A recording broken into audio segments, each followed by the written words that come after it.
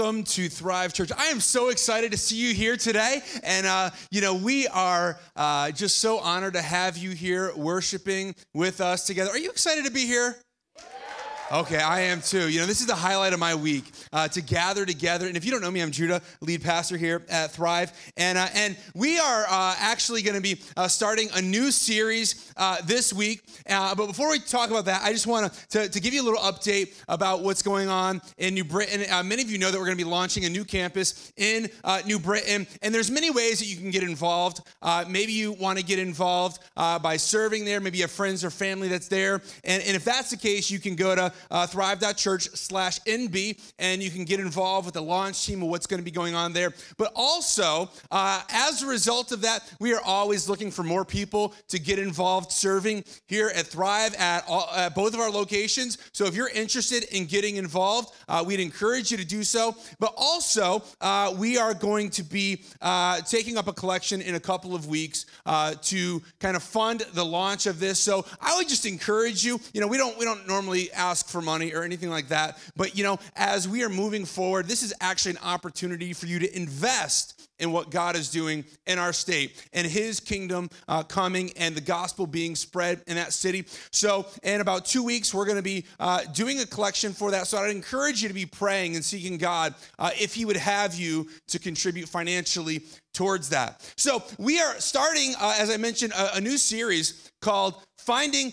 Peace. Finding Peace. You know, around this time of the year, Christmas time of the year, we talk a lot about peace. Peace on earth, goodwill to men. We talk about Jesus being the, the Prince of Peace. But do you have peace in your life? Do you really have peace? I, if you have young children, you probably are saying, "No, no, I have, I have no peace in my life at all." But do we have peace in our life? Do we have peace from our past?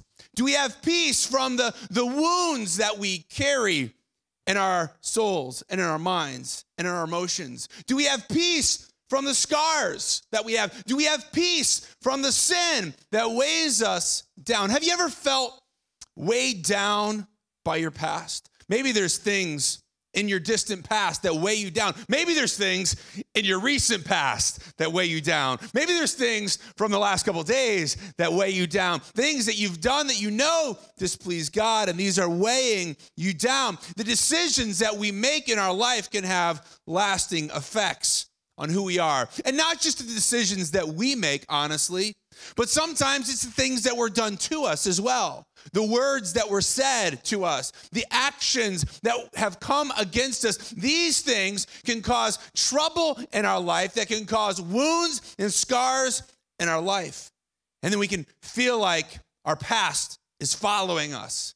You feel like your past is following you. Maybe you feel like your past is, is haunting you.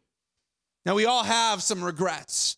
We all have things that, that we wish we could have done differently things that we wish we handled better, words that we wish we didn't say. We, we, we, wish we could go back and, and redo some of the damage of these mistakes, actions that we wish we could bury. Wish we could go back and, and just change the past. We wish, we wish that we could have peace from our past that haunts us. In Luke chapter 1, verse 78, it says, Because of God's tender mercy, the morning light from heaven is about to break upon us, to give light to those who sit in darkness and in the shadow of death, and to guide us to the path of peace. This was part of a song sung by the priest Zechariah after his son John, who we would later come to know as John the Baptist, was born. And, and, and if you know anything about John, he was the one that was coming to announce the way of the Messiah. And here's his father saying, Because of God's tender mercy, the morning light is about to break, to give light to those who sit in darkness and in the shadow of death, and to guide us in the path of peace. To guide us in the path of peace. If you're taking notes, you can write this down that, that God's mercy is our path to peace. He says here, because of God's tender mercy, it will guide us into the path of peace. See, mercy is what shatters the power of sin. Mercy is what defeats sin in our life. Mercy, God's mercy to us, is what forgives us and gives us the opportunity to be made right with God. God alone has the power to break the strongholds of sin in our life, to set us free from the bondage of the things in our past that hold us back. God's mercy is what brings us peace with God. Now, we've all sinned. Scripture says that all have sinned and all have fallen short of God's standard. None of us measure up. None of us are good enough to be approved by God by our good deeds alone. All of us have ghosts in our past. We all have skeletons in our closet, things that we wish we could forget about, things that haunt us day in and day out. And we realize that there is no way for us to work off all of the bad things that we've done because the debt is too great. The wrongs that we've committed are too great. And if God had not come, there would be no hope for you and no hope for me. But He has come. He's come by sending his son, Jesus, to bring us forgiveness, to bring us healing from our past. It says in Romans 5 8, but God showed his great love for us by sending Christ. See, God showed his love by sending Christ, the Prince of Peace, the Lord of Lords, the one who comes to bring peace into your life and into my life, not peace like the world talks about. This is not that kind of peace. This is a peace from God, a peace with God. God showed his great love for us by sending Christ to die for us while we were still sinners. While we were, isn't that amazing? I don't know why in church sometimes we get this all twisted around and we think that we have to clean up our act in order to come to God. I've invited people to come to church before. They say, Well, I can't come there because I have all these things in my past. I need to clean up my act first. And that's not what Jesus says. He doesn't say, Clean up your act and come to me. He says, I died for you while you were still a sinner. Come just as you are. Come to me and I will forgive your sins. I will give you the rest. He came to die for us while we were still sinners. See, God loves you so much that he offers you mercy. He offers you the power to be free from sin. And even now, whatever situation you may face, whatever is in your past, however far or however recent, when God looks at you, he loves you and he sees you as faultless. He sees you as blameless in his sight. In your notes, mercy breaks the power of sin in our life. God's mercy to us has the power to break free the sin. God's mercy, which is new each and every day, God's mercy to us breaks the power of sin, and God wants to give you peace from your past. You were dead in your sins, but now God wants to bring you peace. He wants to give you life, as it says in Colossians 2:13. He says, "You were dead because of your sins, and because of your sinful nature was not cut away yet.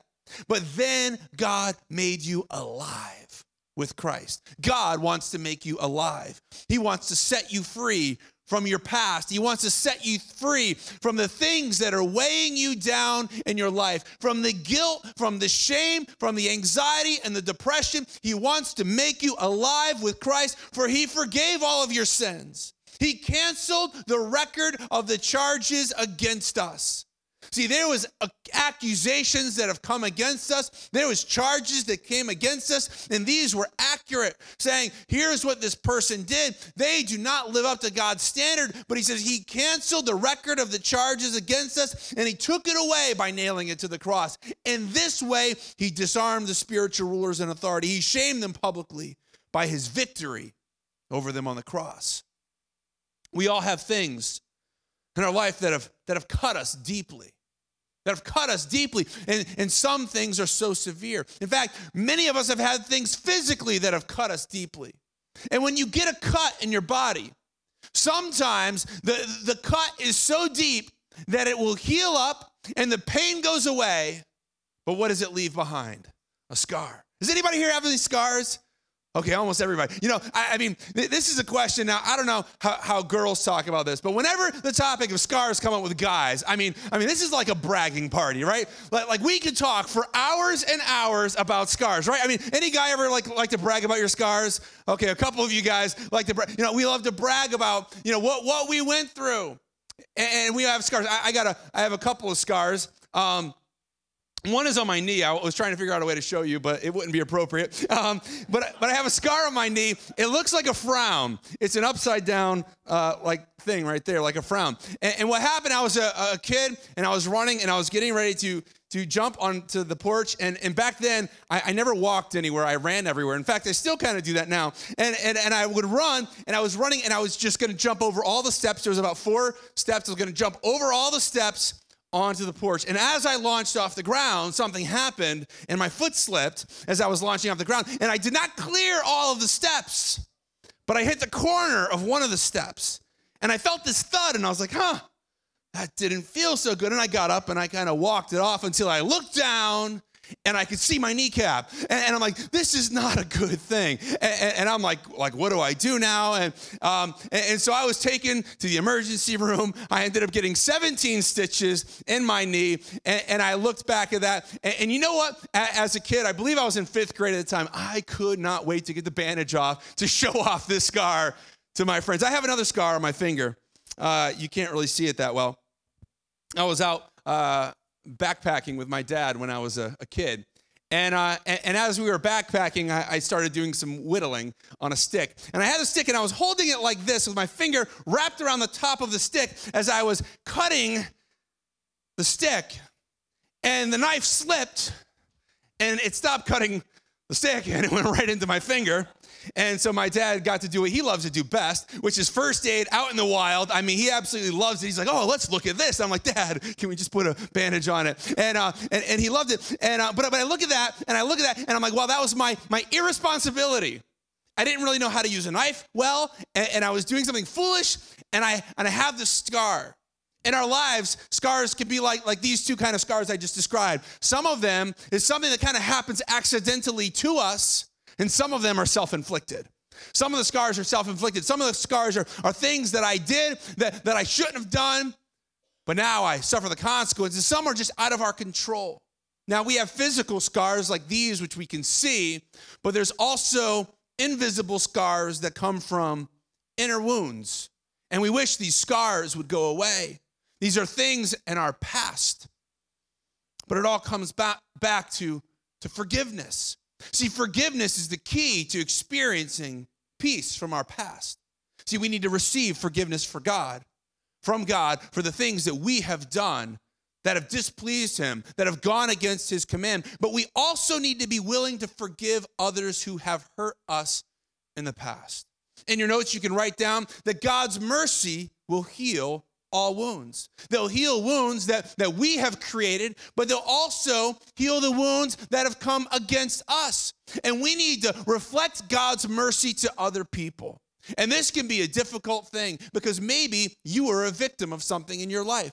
Maybe you were a victim of, of, abuse, or maybe somebody cheated you, or somebody lied to you, or stole something from you. Maybe you were a victim and things happened to you and it cut you deeply.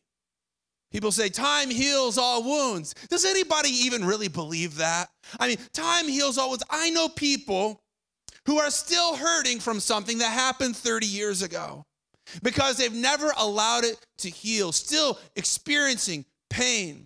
See, Jesus is the one who heals all wounds, not time, but we need to learn how to accept God's forgiveness into our life, but then also how to forgive other people. And we have these scars scars that remind us of what we've gone through. Maybe there's someone that you need to forgive. Maybe there's somebody that you need to, to offer some mercy to. And as you think about that person, maybe there's a person that's popped into your mind right now that you need to forgive and you're not ready to. And, and I understand this is a this is a high challenge, but it's a high reward as well. Because by doing so, by expressing mercy to others, we get to experience God's peace. See, peace begins with forgiveness, receiving forgiveness and extending it to others. And God wants you to experience his peace. He is the Prince of Peace. He wants us to experience peace.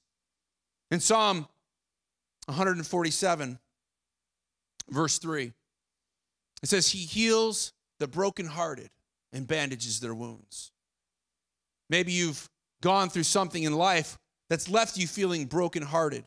Maybe you've gone through a betrayal. Maybe you've gone through some kind of pain. Maybe there's, there's shame. And here it says that God wants to heal the brokenhearted. He wants to bandage your wounds. See, the enemy may have tried to destroy you, but God wants to heal you. God wants to bring restoration. You know, if you have a scar in your body, if you have a scar in your life, that doesn't mean that you're finished. That doesn't mean that, that, that your time is over. It simply means that you were healed from something. it's a reminder of God's faithfulness. In, in Scripture, in the Old Testament, before Jesus came on the scene, in the Hebrew Bible, there was a man by the name of Jacob. And Jacob was, was one who was in the line to bring about God's chosen people the Israelites, the 12 tribes. And, and Jacob was the father of these 12 tribes. And as Jacob was beginning to get closer to God, he wanted to experience God in a more close and a more powerful way. And one evening, as he was there camping,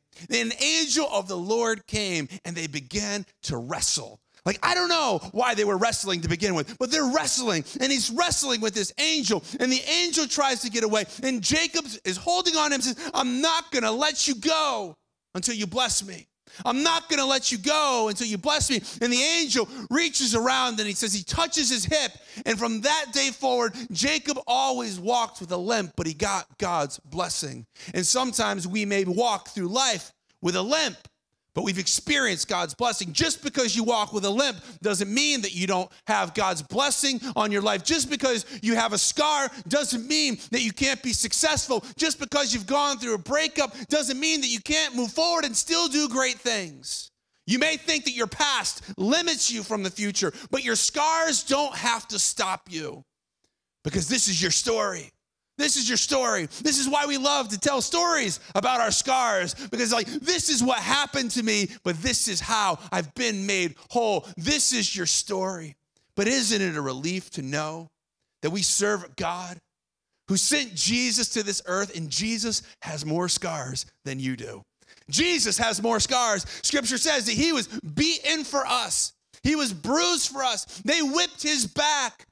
They, they beat a crown of thorns upon his head. They ripped his beard out. They, they pierced his hands and his feet with nails. They stuck a spear into his side. He has more scars than you do. And he died upon the cross, naked and ashamed. And he was buried in a tomb, and three days later, God miraculously brought him to life again. And we celebrate that. But, but, but have you ever wondered if Jesus had the power to come back from the dead, why didn't he remove the scars on his body?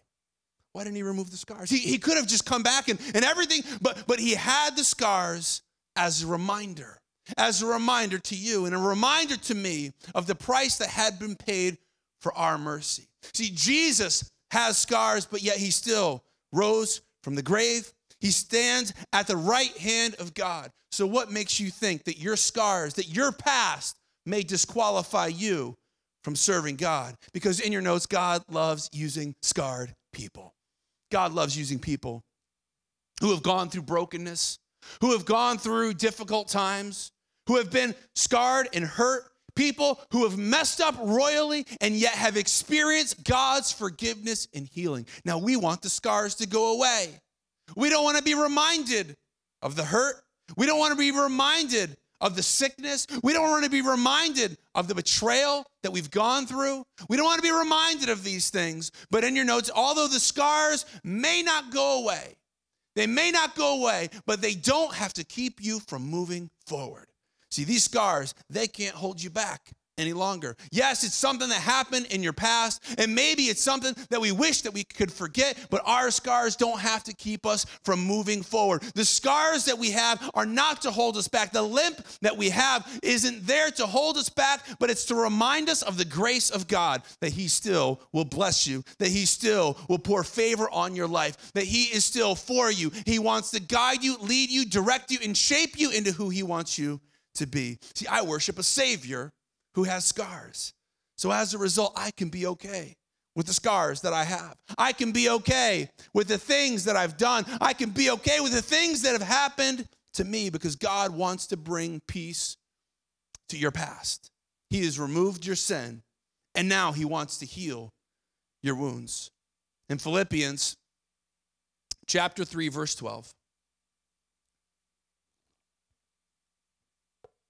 The Apostle Paul is writing here, and he says, I don't mean to say I've already achieved all these things or that I've already reached perfection, but I press on to possess the per- perfection for which Christ Jesus first possessed me. No, dear brothers and sisters, I have not achieved it, but I focus on how many things? This one thing. Paul saying, I'm going to focus on one thing. And you know what that is? It's forgetting the past and looking forward to what lies ahead. Underline that. Forgetting the past and looking forward to what lies ahead. I'm going to forget my past and look forward to what lies ahead. I'm going to forget the pain. I'm going to forget the scars. I'm not going to live and, and regret any longer. I'm not going to live in guilt and shame any longer because Christ wants to set me free. I'm focusing all my energies on this one thing, forgetting the past and looking forward to what lies ahead. In your notes, we forget the past by focusing on what's in front of us. Where are we looking? Where are we looking? Where are our eyes focused on? Are our eyes focused in front of us or behind us? You're not going to drive very well if the entire time you're driving, you're looking over your shoulder, you're watching the rear view mirror. We have to keep our eyes looking in front of us. What are you focused on? Are you focused on your past? Are you focused on your problems? Are you focused on what happened to you before? Or are you putting your focus on Jesus Christ? Putting your focus on the fact that He has a future for you, He wants to direct you. So stop looking back.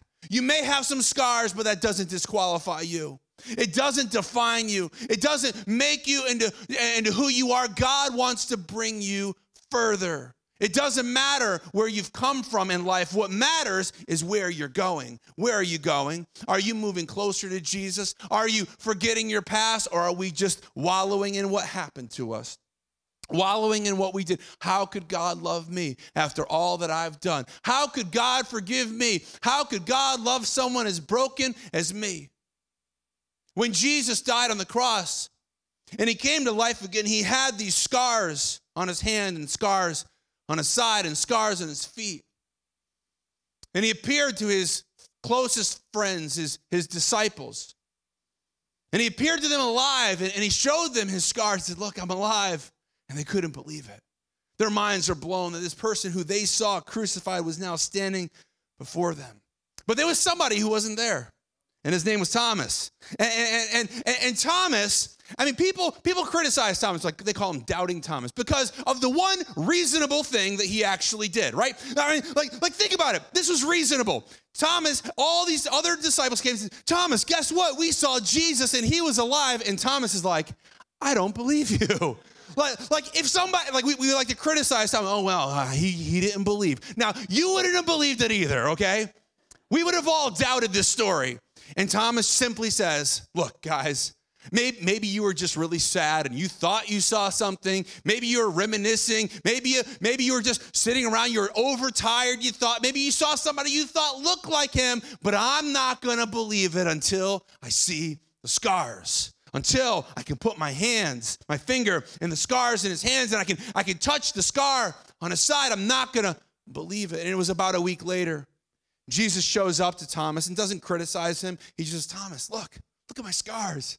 Look, put your finger here where the nail went through. Isn't that wild? Look, look at my side. It's healed up, but you can still see the scar right there. And Thomas, at that moment, said, Yes, now I believe because I've seen the scars in your body. I believe because I've seen the scars. And maybe somebody needs to see or touch your scars before they believe. Maybe somebody needs to hear the story of your life and what God brought you through and the scars that you have to show for it. Maybe somebody needs to see that before they'll take that step of faith and believe. See, we have these scars, but this is now a story for us to tell others of how Christ has restored my life, how he's brought me through difficulty, how he's redeemed me, how he's forgiven me, and I'm not the person I used to be. There's so many stories that I could tell of people who, who their, their lives are radically transformed, and then they see friends they haven't seen in years, and the friend's like, wait a minute, this is not the person I used to know. You were a screw up. You were going and doing this and that.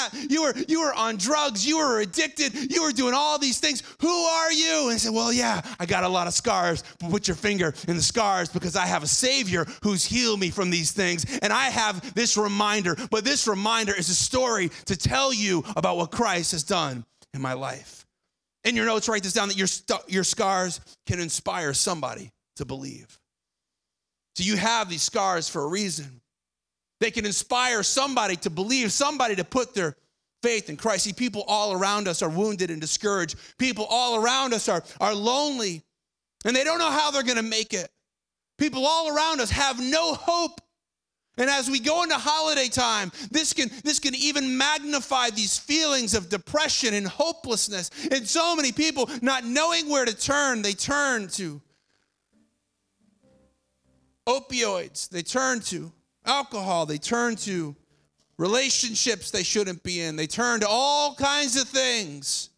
People are wounded and they don't know how they're gonna make it. But when they hear your story, about how God healed you, how God brought restoration, how God restored you. Maybe that'll give them hope. When they see your scars, then yeah, it's in my past, and I wish I didn't have to go through it. I wish I didn't do those things that I did. I wish I didn't experience the experiences that I went through that were so painful. But if God can use my scars for His glory, then let Him use them. See, God didn't just show you mercy for your own sake, He didn't just allow you to have these scars for a, a reminder for yourself. He has them in you for somebody else. So he say, touch my scars. Look at my scars. I'm not perfect. I've done all kinds of things. You can look at me and maybe you'll see yourself in me. That if God can heal you, if God can bring restoration, maybe he can do that in me. And what God did for us, he can do for everybody. What was meant to harm you, God turned it around for good. So let's forget the past. Let's move forward to what lies ahead because God's forgiveness is enough for you. His mercy is new every day. And if we want to walk in peace from our past, we need to experience God's mercy and forgiveness and now extend that to others and not be ashamed of our scars, not try to hide them, but show them proudly as an example of God's restoration and what He can do for you when we trust Him. Let's pray. Father, we come to you now. And we thank you that even though we don't like our scars that much, we thank you that you've healed us, that you've brought restoration for us. And for those here that are in the wounded period, Lord, we ask you to bring healing, to bring freedom from the pain. Let us not look at the past any longer, but let us look forward to what you have for us. Let us fix our eyes on Jesus Christ and Him alone. If you're here and you don't know Jesus, He died for you. He's got the scars to prove it. Many of us here have the scars to prove it that God can use messed up people. God can use people who have been hurt. God can use people who have been abused. God can use people who have been rejected and kicked and lied to and stolen from. And God can use you too. So, won't you call on Him? Scripture says that if you call on His name, you'll be saved. So, won't you call on Him now and say, Jesus, you are my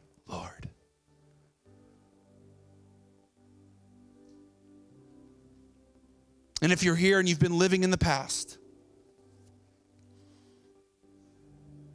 let's receive God's forgiveness for the things that we've done. And let's offer forgiveness to those who've hurt us. And let's let the past stay in the past. Let's move forward. As Paul said, let's forget the past and move forward to what lies ahead. So, Lord, we ask you to lead us, to guide us, to heal us, to bring restoration, to bring healing, because we know that you have made a way. We know that you've opened up a doorway for us to get to you. We know that you have promised us that you'll never leave us and never forsake us. You've promised that you'll forgive us. You've promised that you'll heal us. You said that by your stripes we are healed that through the shedding of your blood we can be forgiven. So we walk in that now. Give us peace, O Lord, from our past. And let us move forward into what you have for us in Jesus' name. And everyone says, Amen and amen.